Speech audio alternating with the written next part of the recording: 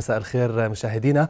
قررت لجنة أوضاع اللاعبين التابعة للاتحاد الأردني لكرة القدم السماح لناديي الفيصلي والرمثة بتسجيل لاعب أجنبي رابع بما لا يتعارض مع تعليمات الاتحاد الآسيوي على أن تقتصر مشاركة اللاعب فقط على المشاركة في بطولة كأس الاتحاد الآسيوي ولا يسمح له بالمشاركة في البطولات المحلية.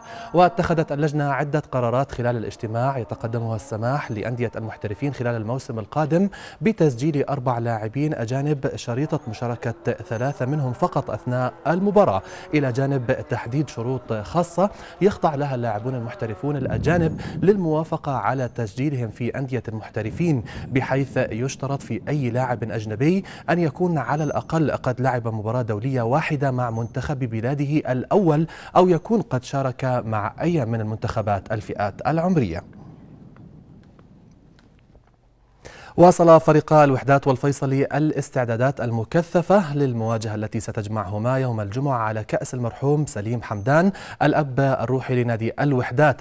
وتندرج المباراة في الوقت ذاته ضمن التحضيرات لخوض لقاءات مرحلة إياب الدوري الأردني لكرة القدم. ويتوقع أن يشارك المحترف المصري أحمد بلال مع الوحدات في اللقاء على سبيل التجربة مع احتمالية المشاركة أيضا في لقاء الوحدات الودي الذي يخوضه أمام شباب الأردن يوم غد. ودعا نادي نادي الوحدات والفيصل الجماهير لحضور هذه المباراة وبخاصة أن ريع اللقاء سيذهب لتنفيذ مشاريع خيرية. يختار مجلس إدارة اتحاد كرة السلة بعد قليل الجهاز الفني للمنتخب الوطني الذي سيشارك في بطولة غرب آسيا. ويتقدم المدرب السابق مراد بركات المرشحين لتسلم المهمة. وهناك أيضا عماد السعيد وسمير مرقص ويوسف أبو بكر من جهة ثانية من المتوقع أن يشارك المجنس راشم رايت الذي يلعب حاليا مع الغرافة القطري مع المنتخب الوطني في غرب آسيا بإيران والمؤهلة للنهائيات القارية التي قد يتم نقلها من لبنان إلى قطر أو الفلبين بسبب الأوضاع غير المستقرة في المنطقة.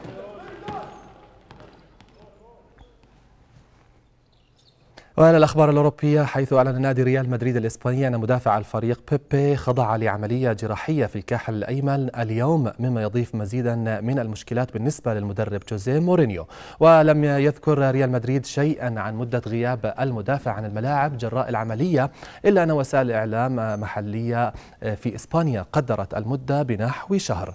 من جهة ثانية قال إيكر كاسياس قائد الفريق بأنه سيقاتل من أجل إثبات الجدارة بالعودة إلى التشكيلة الأساسية للفريق. الفريق. وكان المدرب البرتغالي جوزيه مورينيو قد استبعد كاسياس بشكل مثير للجدل من آخر مباريات الفريق قبل العطلة الشتوية للدوري أمام ملقا الشهر الماضي. حضر المدير الفني لفريق برشلونة الإسباني تيتو فيلانوفا أول مران للاعبيه في العام الجديد بعد خضوعه لعملية جراحية لعلاجه من السرطان.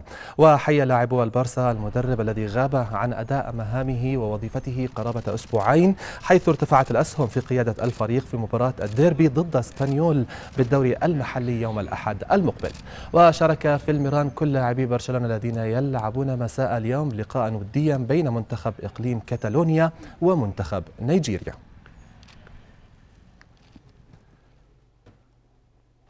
قدم نادي باريس سان جيرمان لوسائل الإعلام النجم البرازيلي لوكاس مورا بعد طول انتظار في معسكره بالدوحة.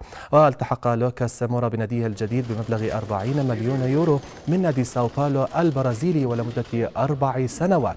لوكاس سيعزز وسط ميدان الفريق الفرنسي الذي يتواجد في الدوحة حاليا لإجراء معسكر شتوي تحضيرا لاستئناف دوري أبطال أوروبا والبطولة الفرنسية.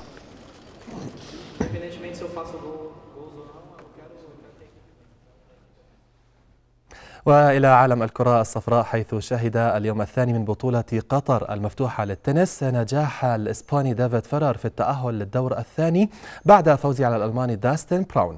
وجاء التأهل بعد الفوز المثير بمجموعتين مقابل واحدة وقدم الألماني مستوى رائعا وفاجأ النجم الإسباني بضربات ساحقة ليفوز بالمجموعة الأولى بسبعة لخمسة.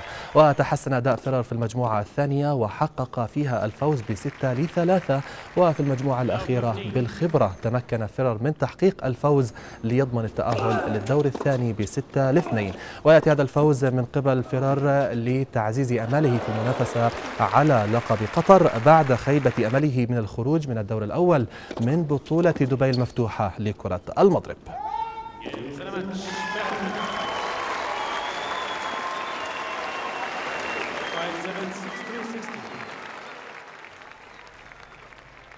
وفي مباراة ثانية من نفس البطولة ودع المصنف السابع الإسباني فيليسيانو لوبيز المنافسات بخسارته أمام البولندي لوكاش كوبوت بمجموعتين مقابل لا شيء. الأداء كان متكافئا بعض الشيء في البداية لكن سرعان ما وسع البولندي الفارق لينهي المجموعة بستة لأربعة. المجموعة الثانية كان فيها الاستسلام واضح على أداء لوبيز ليقتنص كوبوت النقطة تلو الأخرى حتى أنهى المجموعة بستة لاثنين والفوز باللقاء. والجدير بالذكر أن كوبوت شارك في هذه البطولة ببطاقة دعوة وليس كمنافس رسمي مصنف على اللائحة الدولية.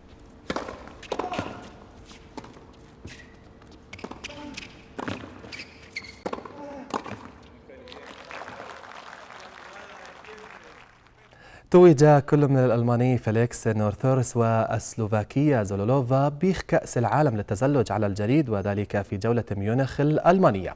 وأسعد المتزلج الألماني الجماهير المتوافدة بتشجيعه بفوزه بالكأس وتقدم فيليكس على النمساوي مارسيل هيرشر الذي حل في المركز الثاني وفاز الفرنسي أليكس بينتور في المركز الثالث. منافسات السيدات شهدت فوز السلوفاكية زوزولوفا بالبطولة متقدمة على السلوفينية تينا ميز وحلت النمساوية ميشيل في المركز الثالث.